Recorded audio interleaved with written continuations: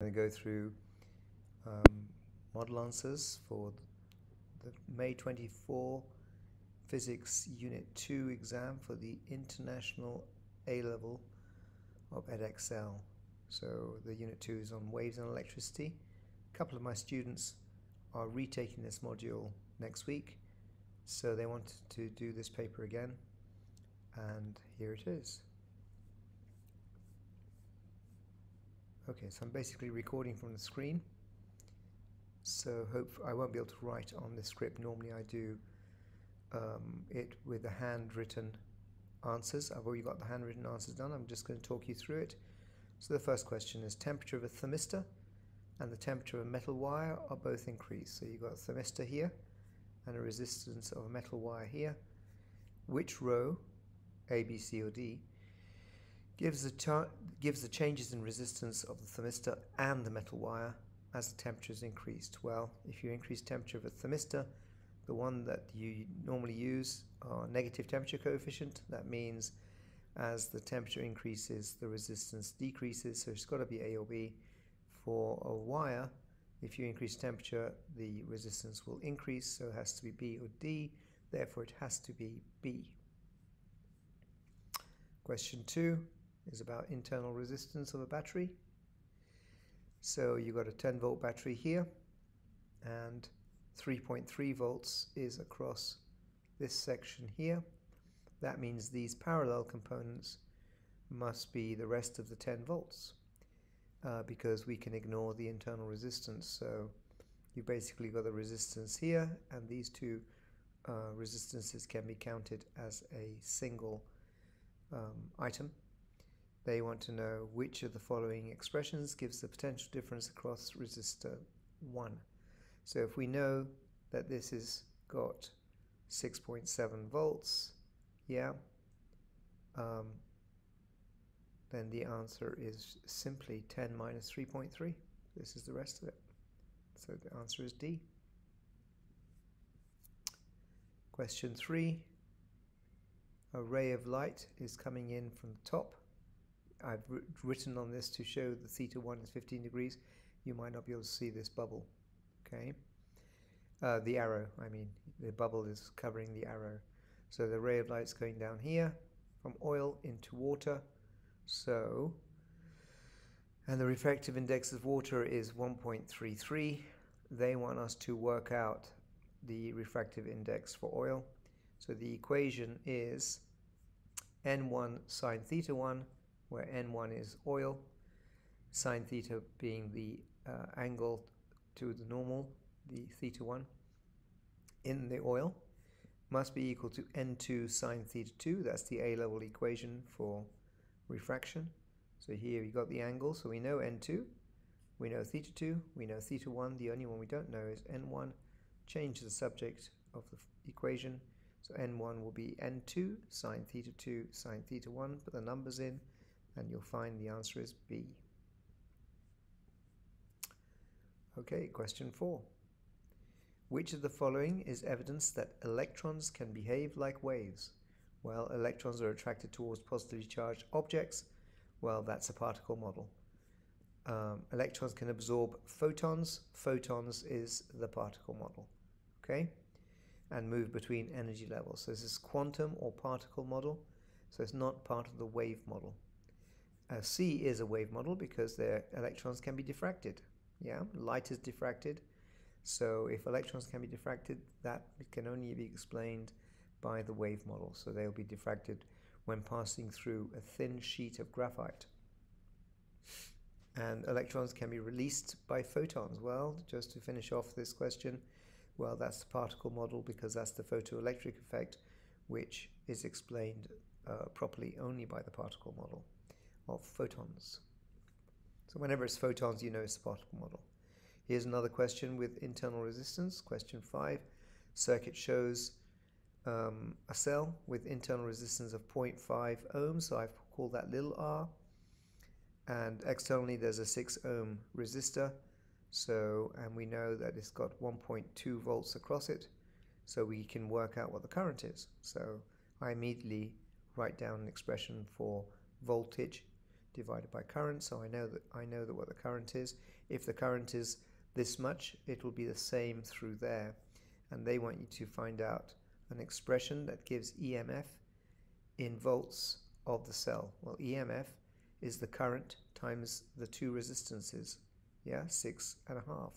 But they want it to be written in such a way where you can work it out. So the total voltage supplied by the uh, cell is the EMF. Some of it is lost internally in the R, and uh, some of it is external. So 1.2 volts is external, and we want to see what is the total uh, that the battery is actually giving out. In other words, this is the equation. EMF is the current in the circuit, which we know is there, uh, plus the two times the two resistances, uh, 6 plus 0.5. So you could also write like this, IR plus I little r. So if we write it like this, it would be 1.2. Our current is 1.206, so this is the current. In brackets, you've got 6 ohms for the big R, 0.5 ohms for the little r. So this is one way of writing it, but I think if you write it like this, it would make, um, you can basically simplify this. So the 1.2, expand the brackets, 1.2 times 6 over 6 becomes 1.2 outside, yeah? So getting rid of the brackets, and then it'll be 1.2 times 0.5 divided by 6, and the only one which gives the correct expression is C. Hope that makes sense to you. Question 6 is the photoelectric effect. Uh, which of the following describes what th threshold frequency means? Well, if you go straight to the answer, this is the answer. It's just knowledge. The minimum frequency of light that can cause an electron to leave a surface. That's the threshold frequency. If it's less than that, the energy will be less because the energy is proportional, directly proportional to the frequency, so it will not be emitted. It basically uh, will not have enough to reach the surface of the metal with uh, and have any kinetic energy to escape.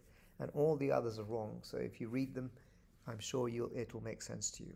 You just need to know what threshold frequency means. Question seven, they got electricity.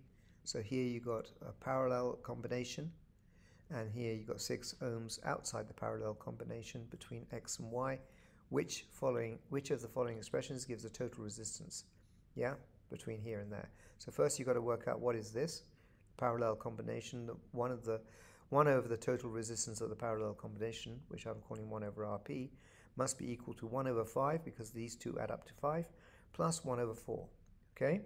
Now if you if you simplify that uh, you will find that um, rp yeah is going to be 1 over that. So you want a reciprocal of this which is 1 over these fractions. So that's looks like what they've done down there is what I'm deducing so what you've got to do then is you've got to obviously add the 6 uh, afterwards so the 6 is separate to this uh, value. So it's 1 over, which one's got this? 1 over a fifth. Well, this one hasn't because they've got a quarter. Uh, it's not the same. This They've added the quarter to the fifth here. Okay? So the only one that looks like that, there's 2 over 2 plus 3, that's 1 over 5. There's the plus the 1 quarter underneath. And then, um, so these fractions are the same as mine and then it's 1 over it. That's the resistors in parallel combination. And then you add the 6 ohms outside. So the answer is D. Okay? So I'll let you struggle with that one to make you uh, work it out. Question 8 is about standing waves and the speed of waves on a piece of string. So tension in a string of length L. When the string is displaced and then released, waves move on the string with speed v. Well, the equation at the back of your exam is v equals the square root of tension divided by uh, mu. Mu is a mass per unit length, yeah, of the string.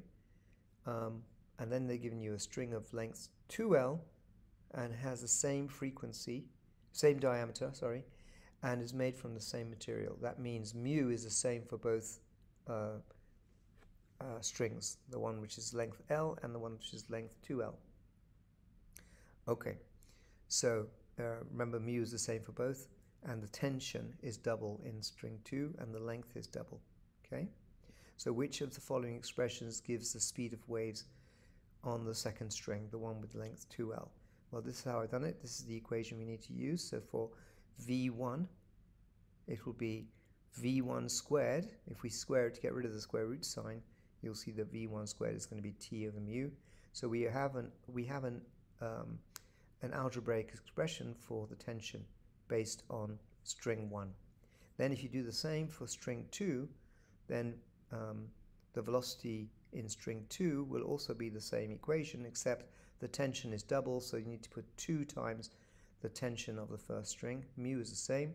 Square it to get rid of it. You'll see that and then you can replace, you can substitute for t using this equation and you'll be able to find then um, by doing the algebraic um, tidying up you'll be able to show that v2 squared will be equal to 2 uh, v1 squared times mu, and then it's divided by mu, so the mu's cancel out. So you get an expression, they've put it as square root, they then take in the square root of both sides, and you'll see that it's square root of 2 times v1, because obviously the square root will get rid of it. The answer is C. So this is quite, as you get to the end of the multiple choice, it takes a little bit more uh, working out. And this is a, a tricky one um, compared to the ones we did before. Question 9 is about resistance again. So you'll see you have um, all different resistances, this one, this one, and this one. And they want you to work out with this combination and the numbers they've given you, they want you to work out the puzzle, which is which expression gives the current in the middle track. So the current's going here. I've, I've, written, I've drawn going this way anyway. So here the total current goes here. At this junction, Kirchhoff's first law says the current will split and add up again when it comes here. So I've called this I2 and this I1, path 1.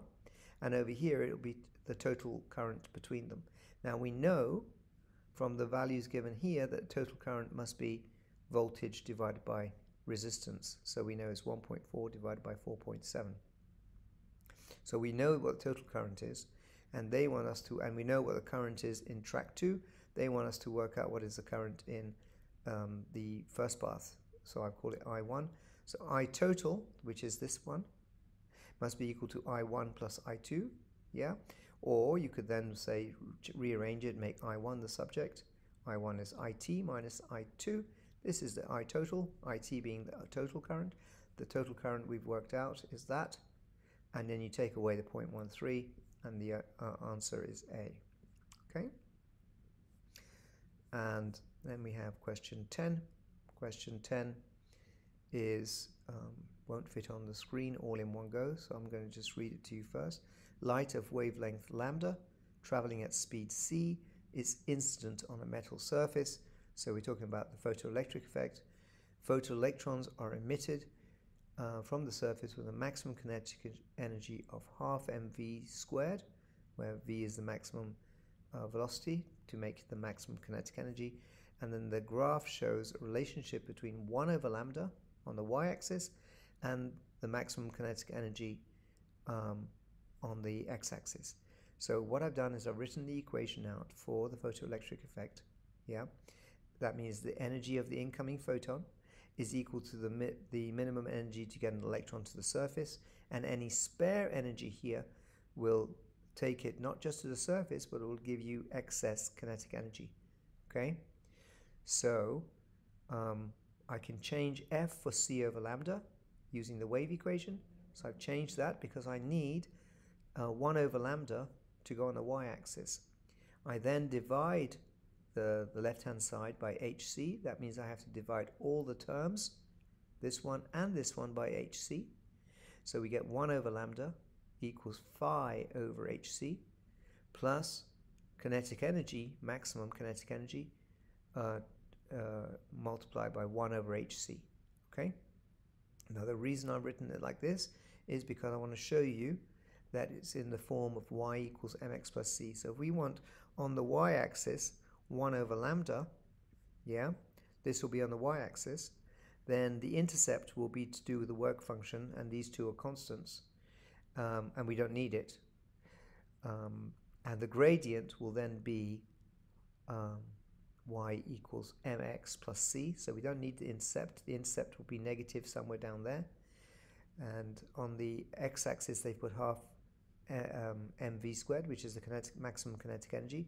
So on the x-axis, we got the kinetic energy, and that means the gradient is 1 over hc. So gradient equals 1 over hc.